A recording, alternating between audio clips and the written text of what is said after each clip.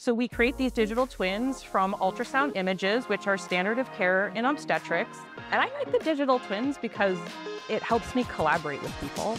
When I can bring up a digital replica of what they see in the clinic, we can start to talk and we can start to discover together.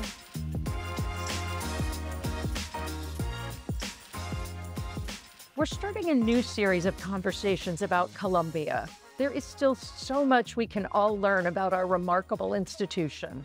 The idea is to focus on our faculty and other community members who are doing world class work. I'm here with Kristin Myers, a professor of mechanical engineering at Columbia School of Engineering. She works at the intersection of engineering and medicine, studying the biomechanics of the female reproductive system. The goal is to better understand the mechanics of pregnancy and prevent dangerous complications like preterm births. Myers Group is one of only a few engineering teams in the world doing this kind of work. Can you talk about digital twins? How do those help your research and what does it mean for this project generally? Digital twins are great. It's it's a tool we've used in engineering for decades. And like you said, digital twins are digital replications hmm. of something in the physical world. So, you know, when I was in an undergraduate mechanical engineer, uh, we learned how to do this again for structures of our built world. You can think of bridges, etc. Now, for the human body, can I make a digital twin so I can understand how that uterus grows and stretches? How the cervix might open too soon or too fast? Like, what's the physics behind that? So we create these digital twins from ultrasound images, which are standard of care in Mm-hmm. obstetrics. Um, and I like the digital twins because it helps me collaborate with people. I'm a visual person, Mm-hmm. and my doctors I work with um, across the street, incredibly smart. They're incredibly busy. Yeah. We have two different types of training. But when I can bring up a f- digital replica of what they see in the clinic, we can start to talk and we can start to discover together.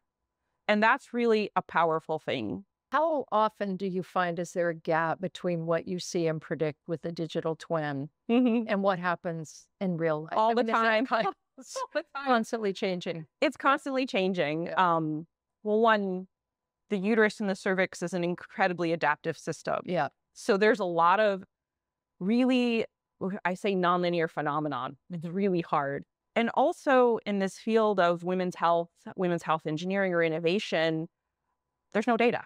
Mm.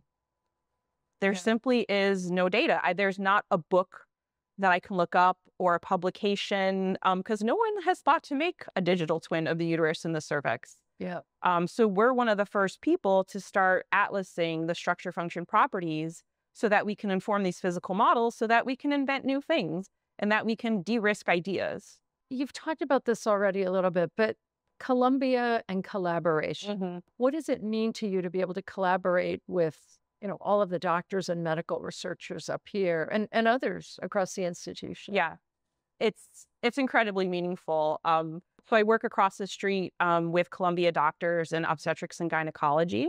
Uh, we have a there's a preterm birth prevention center that my clinical colleague Dr. Morella Murad heads, um, and she really wants to infuse research based clinical practices. Mhm. Um, and this is really important to her. So we do a lot of collaboration to understand can we invent new research tools to get that data? Mhm. Can we do it in a, a better way, a more informative way? Is there somehow, and I, I like to sort of like, it's really important for me to be in the clinic room or across the street at the at the medical center.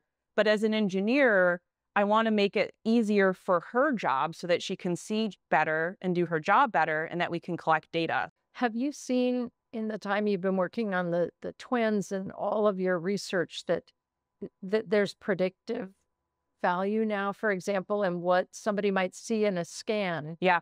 And what that might mean for a possible premature. Right, a diagnostic. Yep. And that is that is our end goal. Yeah. Can we have a diagnostic to say, hey, you're at risk for preterm birth? Mhm.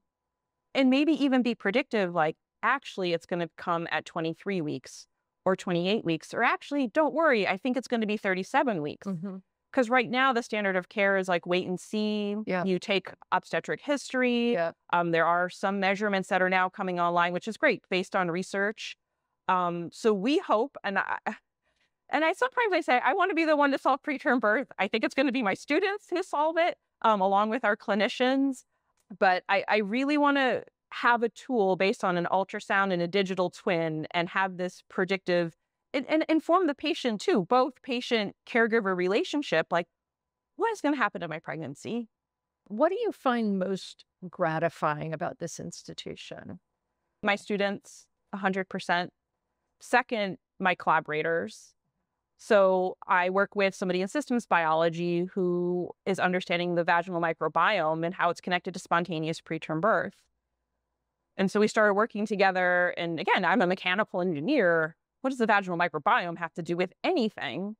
And so again, just meeting and meeting and having our students talk and just start throw ideas at the wall that kind of sound a little wild. Yeah. But we started this line of work. We're like, well, the cervix is surrounded by this microbiome. So how does it affect the mechanics? And so can we build a test where we can simulate that environment? And we started to do that. And I started to look at my work differently.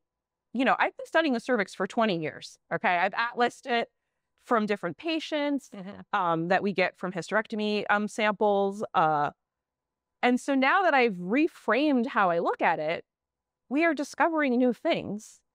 And I think it's really important that my laboratory is here, again, nestled between systems biology and obstetrics and gynecology. You know, we can go and see, we can talk to the physicians, we can talk to the scientists um, and invent something. I love when people visit the laboratory. Well, thank you for letting us drop in. You're welcome.